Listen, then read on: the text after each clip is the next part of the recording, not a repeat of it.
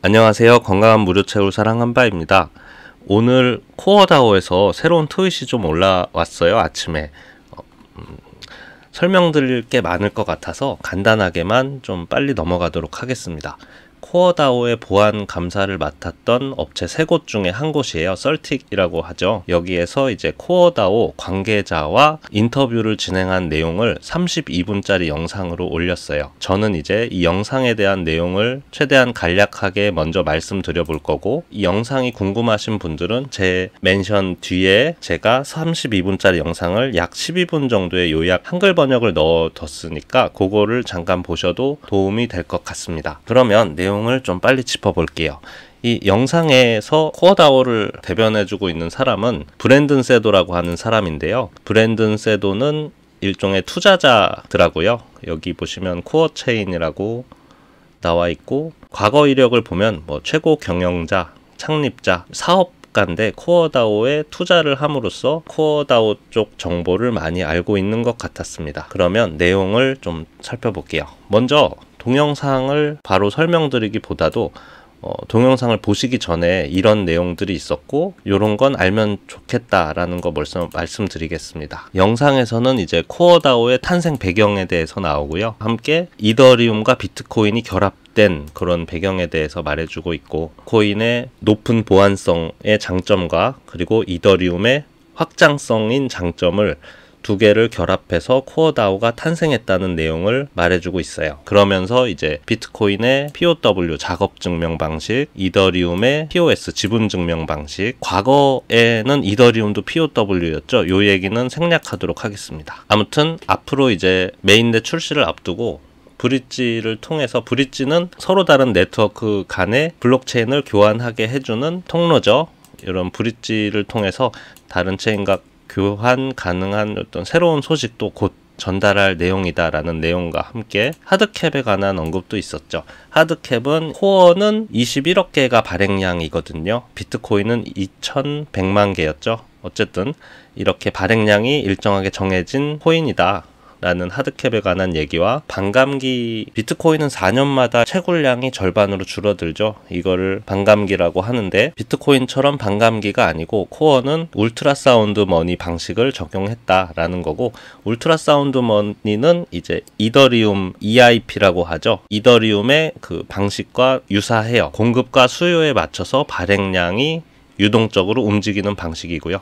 이런 내용과 그리고 또 요번에 이렇게 감사 완료 소식까지 벌써 수개월이 이렇게 지연된 거에 대해서 코드나 트위터 커뮤니티에 대해서 이제 진정한 감사하는 말을 이제 좀 하고 있고요. 그리고 앞으로 코어다오의 운영 체제 점진적으로 탈중앙화에 대한 계획에 대해서 영상에서 말하고 있습니다. 대략적인 내용은 이렇게 되고요. 어, 영상을 보기에 앞서서 초보 분들이시라면 조금 보면 좋을 만한 내용을 잠깐만 소개시켜 드려 볼게요. 우선 여기 코어다오에서 말하는 브랜든 세도가 비트코인과 이더리움을 합친 시스템이다라고 얘기를 하는데요.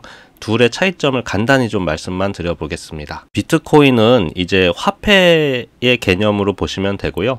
이 화폐를 이제 블록체인 기반 기술로 만든 것이 이제 비트코인이라고 볼 수 있습니다. 이것을 블록체인 개념화를 최초로 한 것이 비트코인이고 그런데 비트코인은 화폐로서의 가치밖에 없기 때문에 뭐 영희가 철수에게 500원을 전달했다. 이런 정도의 이제 정보 전달만 가능해요.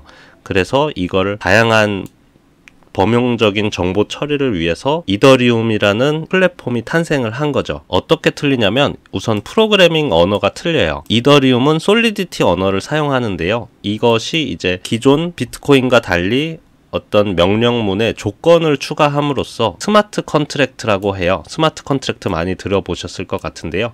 이더리움을 컴퓨팅화 시킬 수 있는 부분입니다. 뭐 예를 들면 영희가 만 원이 넘는 금액을 가지고 있다면 철수에게 500원을 줘. 이런 식으로 이더리움 플랫폼에서는 다양한 프로그래밍이 가능해지는 확장성을 가질 수 있다는 면에서 블록체인 역사상의 굉장한 또 혁명이죠. 그러면 비트코인보다 이더리움이 컴퓨팅이 되고 더 좋은 거 아니야? 이더리움만 쓰면 되잖아. 왜 둘을 결합할까?에 대해서는 각각의 장단점이 존재를 하는데요. 우선은 뭐 POS가 이더리움, 그리고 POW가 비트코인이라고 합니다. POW는 이제 작업 증명 방식, 이더리움은 지분 증명 방식이죠. 요 밑에 4번 코어는 이제 작업 증명 더하기 D가 붙었죠. 위임 지분 증명 방식인데요. 요거는 나중에 영상에서 다루도록 하겠습니다. 작업 증명 방식은 이제 비트코인과 이더리움 여기 이더리움이 여기 있죠. 어, 이게 좀 헷갈리실 수 있는데 과거에 이더리움 1.0은 작업 증명 방식이고 요번에 머지를 거쳐서 지분 증명 방식으로 변경이 됐다고 보시면 됩니다. 자, 비트코인과 같은 작업 증명 방식의 장점은 어, 보안성이 매우 높다라고 볼 수 있고 대표적으로 단점은 이제 채굴에 소비되는 전력량이 너무 높아서 비친환경적이다 이런 부분이 있습니다. 지분 증명 방식은 많이 가질수록 더 이자를 받는 방식인데요. 어떻게 보면 빈익빈 부익부에 한몫하는 방식이라고 볼 수도 있죠. 하지만 이런 지분 증명 방식도 장단점이 있어요. 장점은 친환경적인 시스템이죠. 하지만 단점은 아까 말씀드렸던 이제 불공평한 경제 모델이 대표적으로 지적이 되고 있어요. 따라서 이 트릴레마라고 하는 게 존재하는데요. 모든 블록체인은 보안성과 확장성과 탈중앙성을 100% 만족시킬 수 없다라고 하는 게 현재의 블록체인의 현실입니다. 근데 코어가 어떻게 특별하냐? 그래서 보안성, 확장성, 탈중앙성을 극복하겠다라고 해서 나온 게 코어고요. 그러면서 이제 앞서 말씀드렸던 비트코인과 이더리움을 우리는 합쳤다라고 해서 나온 부분입니다. 아, 코어는 반감기가 없다고 아까 말씀드렸는데요. 이 부분에 대해서는 어, 시간이 너무 길어지기에 제가 다른 영상에서 좀 다루도록 하겠습니다. 영상을 본 제 느낌은 코어다운은 굉장히 완벽함을 추구하는 것 같았고 정말 과거 2019년부터 준비해서 지, 금까지의 노력한 열정과 끈기가 대단하다는 모습으로 보였습니다. 이 영상을 보니까 이제 향후 출시될 메인넷에 너무나 큰 기대가 돼서 굉장히 설레는 마음으로 좀 볼 수 있었습니다. 어, 오늘 영상은 어, 브랜든 세도의 인터뷰 영상으로 마무리가 될 거라서 따로 인사를 못 드릴 것 같아요. 제가 앞으로 지분 증명 방식 또 반감기 울트라 사운드에 대해서 정보를 드릴 수 있도록 하겠습니다. 그러면 오늘 도 감사합니다. So today we've got Brendan Cito from CoreDAO on the show to tell us some more about the project. Thank you for coming on the show, Brendan. Thank you for having me. No worries. Yeah, looking forward to it. We've had a lot of interest about this. Um, so how about you? We start with uh, what's the ideology behind Core? What problems is uh, is CoreDAO solving? Sure. So first of all, thanks for having us, and kudos to your social team. You guys have done an incredible job. So it's uh, exciting to be part of this. So Core Core's got a really interesting story. Uh, you asked about the ideology. It was really the uh, result of a debate between two friends. So one of which was at the time a, a bit of an Ethereum maxi. You know, really excited about the composability and smart contracts in Ethereum. The other was what you would call almost a Bitcoin maxi. And the two were basically having a debate about the future three years ago.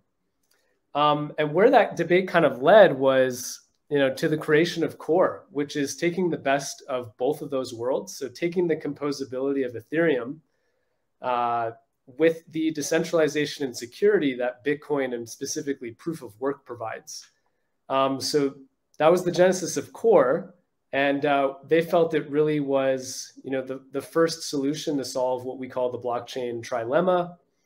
Um, and not have to make trade-offs on an L1. So that's uh, that's really the ideology or how everything started, and uh, it's been a couple years journey. And that's really the differentiation with CoreDAO, you know, compared to other, uh, you know, complete proof of stake L1s or EVM chains. So the Satoshi Plus is really interesting and it is novel in that it actually combines both proof of work and proof of stake. So we run validators who are confirming the network, and they actually take in uh, delegated proof of work from mining pools. So they're actually delegating their hash rate. Uh, and then we, we also have a delegated proof of stake component. So you know users can uh, delegate their core as well, like any other delegated proof of stake system. So what that means is we then uh, have a, a, very unique scoring system for the validators that takes both proof of work and proof of stake into account. Um, and that's a, that's a different you know, mathematical model. And basically that results in, in a very you know, decentralized, secure uh, consensus mechanism that's different than what we've seen from anything else out there. What you see there is basically we we've partnered with an app called the Satoshi app uh, to you know basically pre-mine a bunch of uh, core tokens that are going to come out with the eventual eventual uh, mainnet launch and community airdrop that we'll be doing. So to clarify, those are not actually Bitcoin miners. We call those miners uh, users that are mining core. And uh, we're really excited about this launch. You know, we actually see it as one of the fairest launches since Ethereum. You know, we don't have any VC insiders. Uh, we're dropping, you know, a significant portion to these uh, early users and airdrop directly to the community. So it's something that we're really excited about. And again, kind of goes back to the ethos of crypto that we really haven't seen in years, frankly. The most important thing is though, at launch, like we're fully functional. We're we're a fully functional EVM chain, literally a fork of GETH. Um, so you you can really do anything from a development standpoint and from a user standpoint. So I just want to make that clear. So we're really excited about that. We'll have full functionality on mainnet launch. Um, from there, we've got you know a variety of DeFi products launching. You know, you'll you, will you will be able to swap. Uh, there'll, there'll be some more news soon around bridging, which we're really excited about. So that's another teaser. You can expect something from us in the next couple of days around. Uh, but we actually have a hard cap on the core tokens. Um, now, similar to the 21 million hard cap in Bitcoin, we we also have a hard cap. Uh, and forgive me, it's it's 2.1 or 21 billion tokens. I think it's 21 billion tokens. So we're uh, excited about you know having like a very sound money source in in the age of uh, kind of like infinite scalability and you know technology costs going down. Uh, we really wanted to take the sound money principles that Bitcoin created and, and input that in core. So to be clear, uh, there's there's going to be a hard cap on the core. Why did you go with CertiK to audit your smart contracts? we just loved the name. You know, the name CertiK was great. No, just kidding, just kidding. Um, you know, really with with CertiK, you know, you guys are one of the most trusted names in the space. Uh, it was really an easy choice for us to be one of the audit partners. Um, we just felt you guys were a very trusted, well-renowned name in the space, so that's why we went with you guys. And we wanted nothing but the best. Um, you know, I I may be leading leading into security a bit more, but you know, security is crucial in you know what it's hard hard for me to to go into too much detail there but um, all i'll say is that i appreciate the community's patience. Um, you know we're a lot of our contributing team is in the discord. We're we're monitoring monitoring what people are are saying. We're, we're trying to do best by the community and and we know that this has been a while uh, you know a couple months of delay. So we just really appreciate that they were patient. And, uh, you know, we, we've been working really hard and you can obviously tell by the report, I think we were ranked like pretty highly, correct? You know, we, you know, one of the, the top ranked projects, you know, that's for a reason. We worked really hard and, and took security very seriously and have a very talented team. So again, just appreciate the patience from the community. You know, everything's rolling. We're getting there. We really appreciate you guys and, and we're going to do right by you all uh, for for sticking with us and and believing in in the core values of core. We don't have a huge treasury, nor have we raised VC funds, and that was a very um, intentional decision. We we wanted to be different than all the other chains, raising boatloads of capital and, and you know enriching insiders. Um, so so again, that's that's made it tough in in some ways, but we felt that sticking to the to the values of an ethos of crypto was more important. Um, so how have we been able to do that? You know, we've just had a had a very lean team. We're not spreading money around. As you know, there's a lot of chains with huge grant programs, you know, paying lots of money to get projects on board.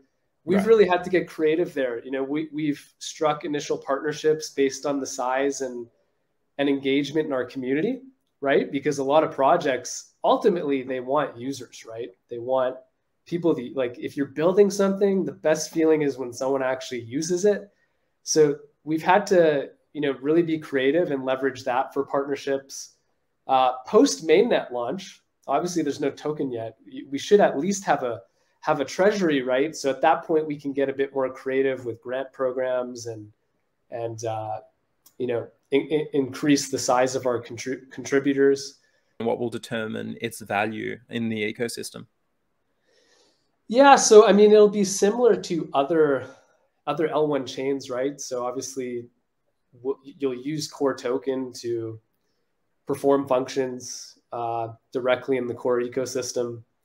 Uh, you know, to stake and earn rewards, to interact with DeFi protocols, to buy NFTs, to to play games. So the, the utility is similar to, you know, like an Ethereum. We we are an EVM chain, so it's similar to like an Ethereum style gas gas type model. It's really like the the um, utility and, and gas to to uh, do things on the chain. Um, you know, speculation is cool, but we want to provide real utility uh, within the chain, and, and, we ultimately want the the price tied to to how much people are actually using core. And we have a great head start with the you know, millions of users. Uh, Eight million wallets for the airdrop. Cool, cool projects lo- uh, launching come mainnet, and we're assuming we'll get a lot more projects after. So, uh, you know, we see the price uh, tied to to its utility and how much usage is is happening on chain. How do you minimize centralization in Core DAO? To clarify, is you know at the start, I, I don't know if the right term is centralization, but you need a bit of a more coordinated effort at the beginning to get things launched. So this initial contributing team came together and has contributed together and kind of worked in lockstep in a very small team. And you need a bit more oversight to get the, get everything launched. After launch, uh, you know, we want more contributors on board. Uh, we're, we're going to kind of like spread out a lot of the tasks and it'll progressively get more and more decentralized. I'd say we're extremely decentralized already, but all I want to highlight is to to get like the initial blockchain built and out, you just need a bit more of a coordinated effort with this kind of remote decentralized team. Um, but oh, you know, over time, we're going to be even more decentralized. Going to? Do you have any plans to um, undergo team member KYC just to uh, give that extra level of assurance to your community about the, the the verified identities of the people behind the project? I think the big thing for us is we don't necessarily want one person. Like as you notice, you know, I'm not scared to necessarily show my face, but we have the core logo. Uh, we're, you know, when, when we think of like a decentralized community and chain, we don't really want like one person to to get be on the spotlight. We're really trying to highlight like a bigger decentralized team, and it's really about the DAO and the users themselves because we're we're a very decentralized team. There isn't necessarily going to be like one decision maker. Um, so that's why we're we're just like when we come out with content, even when we're thank you for having us on and the great questions, uh, and and and just doing a great job on social media too. It's just been fun. It's been a fun couple of days, uh, and the community I think is really engaged with that. So that's been fun. Um, closing thoughts are thank you, thank you again to CertiK. Uh, thanks to the community for being super patient with us. Technology takes time. We were just trying to really, uh, you know, cross the T's and dot the I's. Mainnet is coming very soon. I can't give an exact date just yet, but the teaser is everything's going to plan and it will be coming very soon and we'll have details for you all. So just remain patient. We're super excited for that and the airdrop coming very soon.